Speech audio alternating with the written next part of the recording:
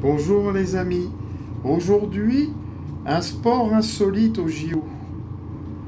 Jeux olympiques de 1900. Le croquet est olympique. Sur trois disciplines, la France prend sept médailles. Trois en or, deux en argent et deux en bronze.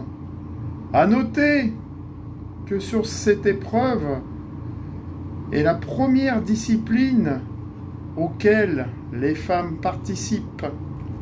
Tous les amis et bon croquet à tous. Mmh.